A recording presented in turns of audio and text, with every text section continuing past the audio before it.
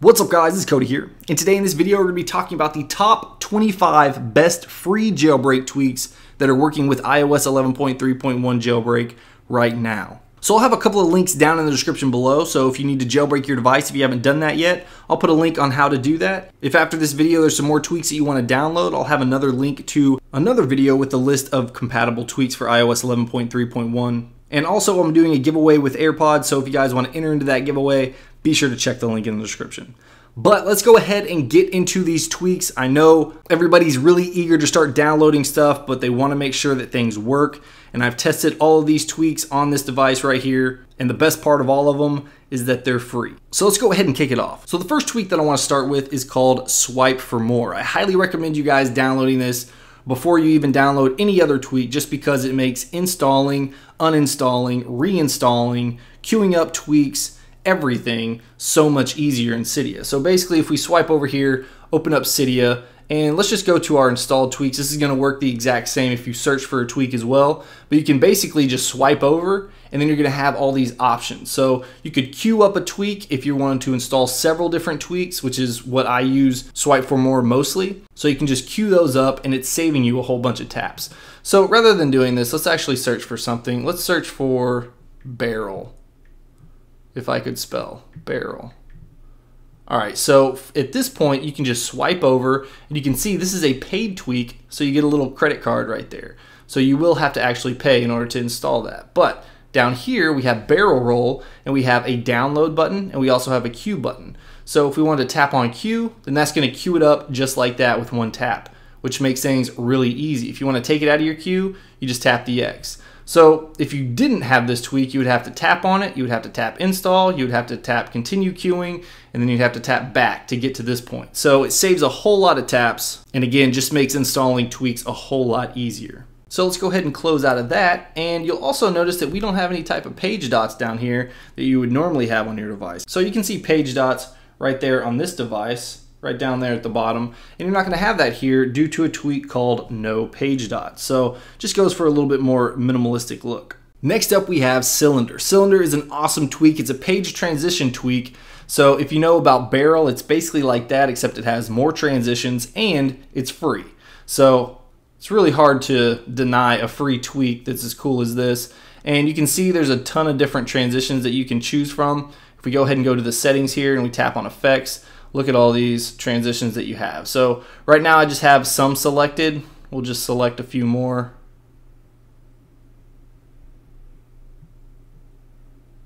And then go back out here and then you can have randomized toggled. That means it's going to change every time that you swipe over a page.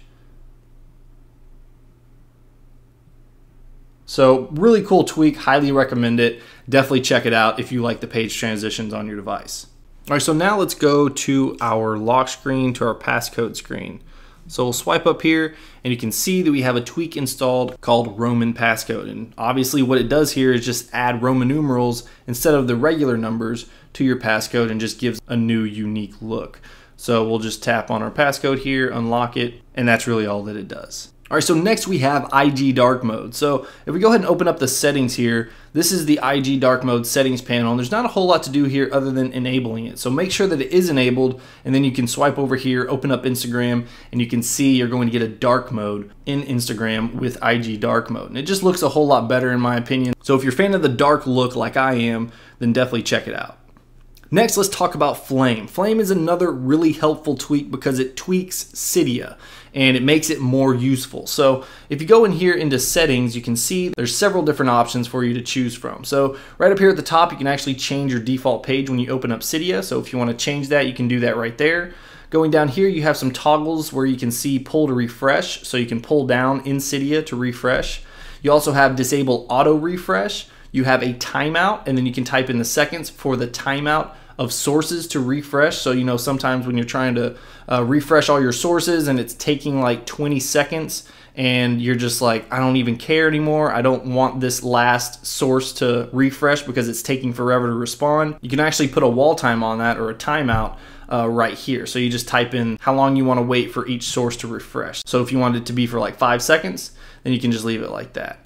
So right down here, you can do a hold to share. You can do batch add for sources, which is really nice. So you can just copy a whole bunch of sources And then once you open up Cydia and then go to add sources, it'll actually paste all those sources into Cydia all at the same time, and then you can add all those sources at once rather than having to add one source at a time. And if you're looking for a whole bunch of sources to add for tweaks, uh, I have a video on that in the description. Now you've probably noticed my dock down here. This is actually due to a tweak called Floaty Dock.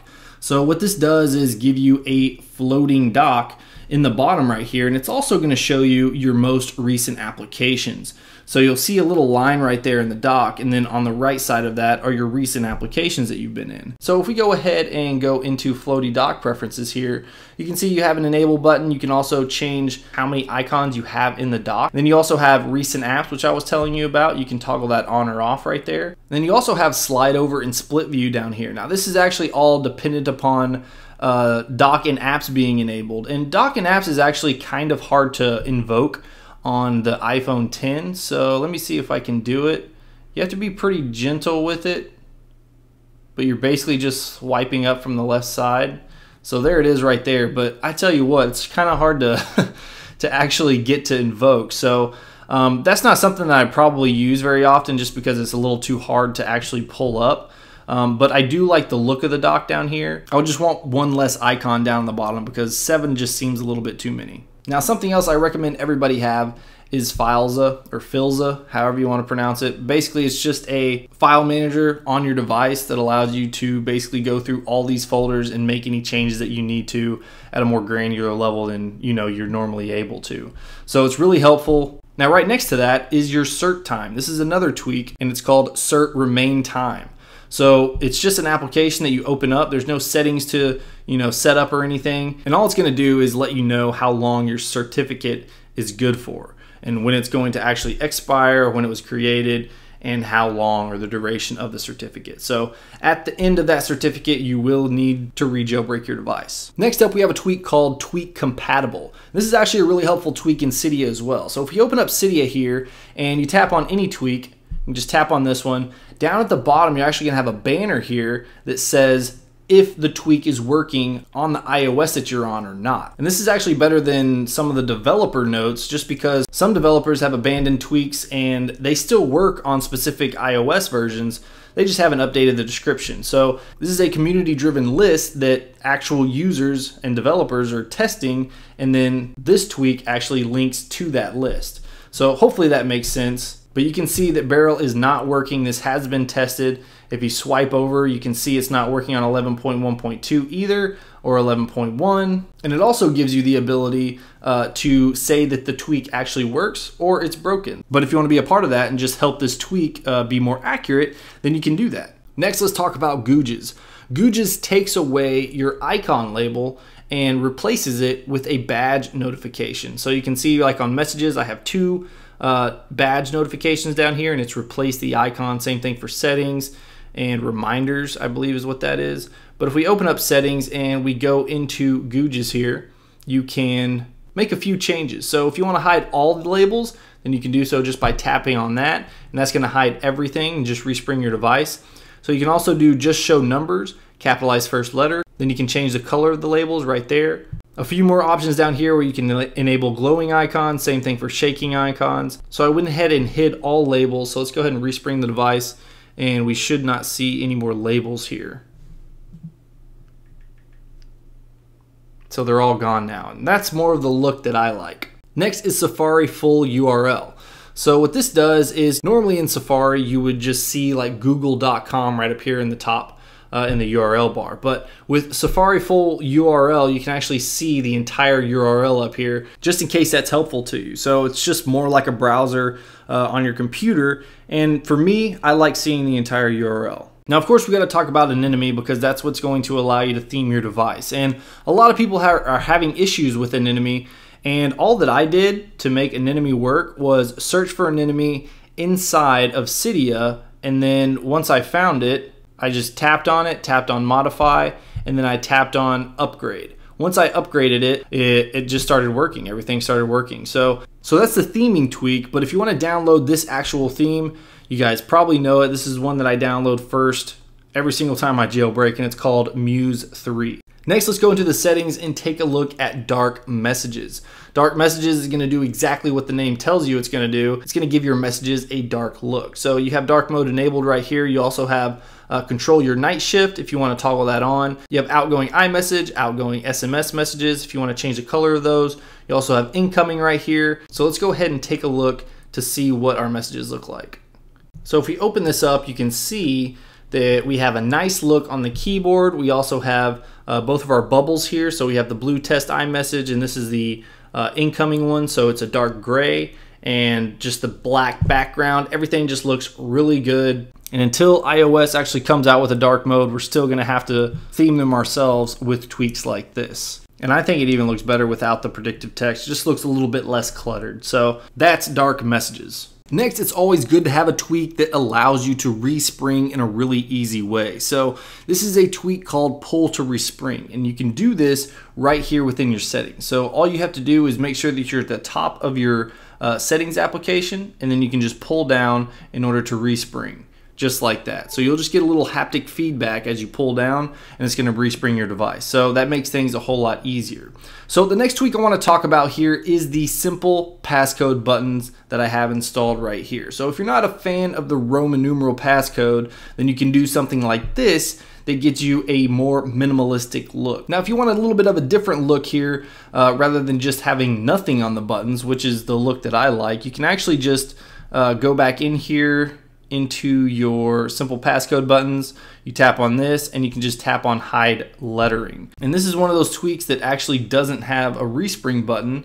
So it's gonna make having that pull to respring tweak installed really helpful. So now if we go ahead and go back to the passcode lock screen, you can see all the letters are taken away and we just have the numbers. So I like the look of no numbers and no lettering, but if you just like the numbers there, then that's the way to do it. Now another really good tweak for your iPhone 10 is called no more small apps. So as I was going through Cydia, you probably noticed that Cydia was actually pretty small on the iPhone 10. But if I open up Cydia now, you can see this completely full screen. It looks a thousand times better and gives you a whole lot more space to work with. And that's due to no more small apps, which basically just makes all applications full screen on the iPhone 10. Next, let's talk about lead to home. This is a really nice tweak because I always lose my apps when you know you have several different pages of apps and you don't necessarily know where one is you end up using spotlight so we don't even really need to type anything in let's just say that we wanted to know where instagram was so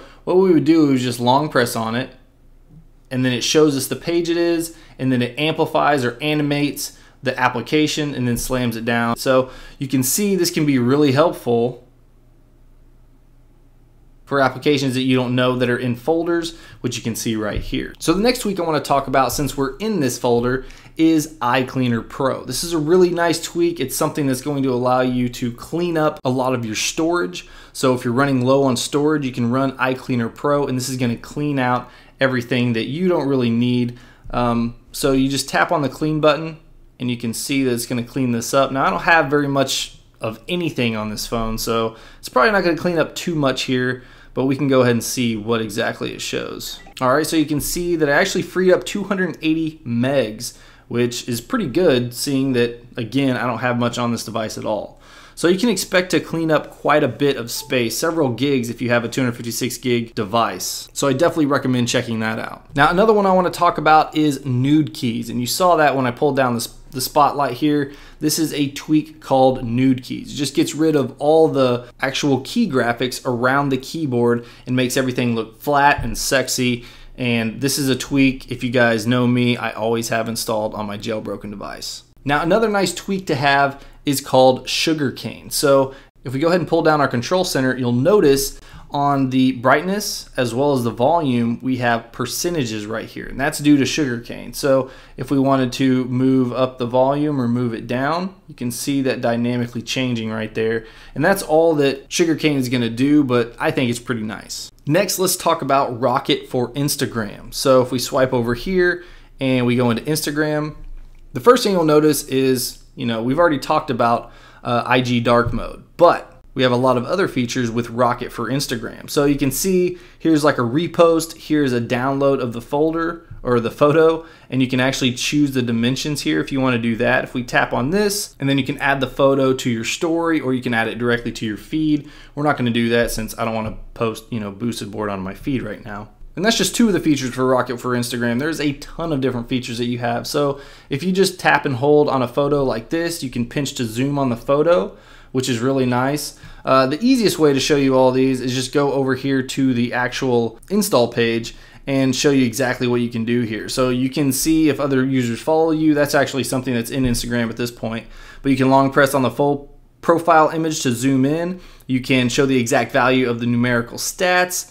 You can mute and unmute video stories, upload from your camera roll, uh, manually mark stories as seen, disable auto switch between stories. There's just a ton of different stuff you can do with this and it's all for free. It does have an ad on there, so that's kind of a downside, but if you're not too terribly annoyed with that ad at the bottom of the Instagram, then this is a really cool tweak. So now let's hop into the control center here and we're going to talk about Real CC. So what Real CC allows you to do is completely disable Wi-Fi or Bluetooth right here in your control center. So if you tap on this, you can see it's completely gone. So if we go into our settings, you can see that Wi-Fi is completely disabled. Of course, that's not what you get on a regular iOS. So if we just tap on Wi-Fi right there, and then we go into our settings, you can see Wi-Fi is still enabled. It's just not connected to the Wi-Fi network that I was connected to. So if for any reason you need to completely disable Wi-Fi or completely disable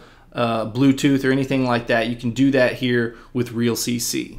Now we also have nine folders. So nine folders is giving you iOS 9 type folders. So it's gonna give you that different look. So you can tell the difference here just by looking at that folder and then looking at this folder, this one's a lot uh, more of a blur and this one's a little bit more opaque. And you can actually uh, turn on the dark mode as well, which I've already done. So if I go ahead and respring my device real quick, and then we can uh, get back into the folder and it's gonna give us a dark looking folder. So if I swipe over here and open it up, then you can have those black folders. And that's due to nine folders.